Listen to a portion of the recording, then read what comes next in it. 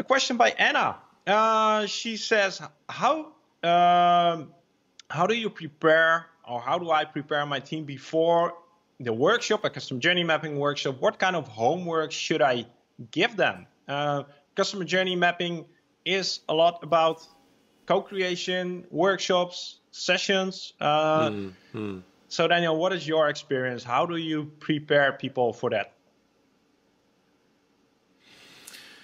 I think it's good to give them kind of a homework or a kind of heads up or something in, in before to think about journeys. Uh, it could be simple things that buying a coffee or going to the cinema or something. What, what are your journey there? Uh, or when people came to this session, uh, what did you experience? What was were your journey uh, coming here? Um, I also think it's good to maybe prepare people on good journeys and bad journeys? Could you take? Can you bring on some examples from your own life? Um, I also think it's good to to ask people to not think that they are coming with solutions.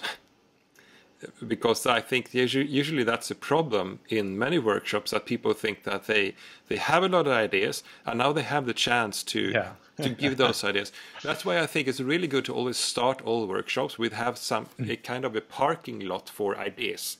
That write all the good ideas that you have bring brought with you, and then we put them up here so we could just leave them yeah. and go on. Because yeah. maybe those ideas are excellent in the future, but we have to do the, the work first and then bring on the ideas.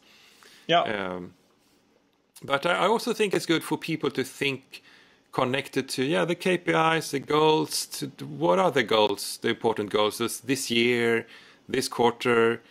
Um, yeah, I yeah. think that's good. A good yeah. gives a good uh, starting I, point. I, I when we do customer journey mapping workshops, we sort of always um, make people do homework or give homework assignments, and it has two reasons why um, you actually can start um, doing research. You, you, actually can get data out of it that you can use in the session.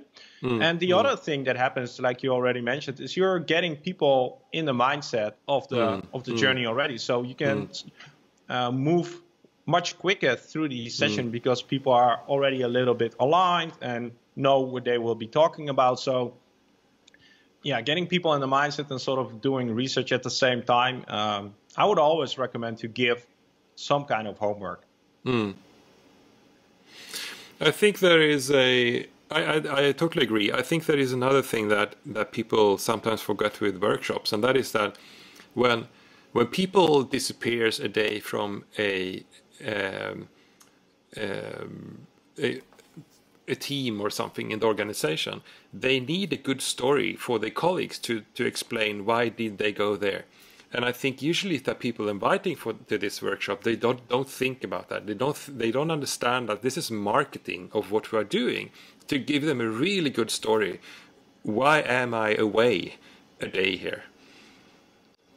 Yeah, and that's a, yeah. that's a really good tip. Yeah. So what? A, give them a good story. Give them an excuse.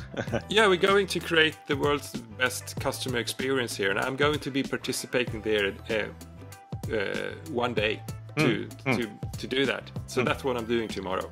Yeah, that's a good tip. Uh, we have uh, never thought of that actually.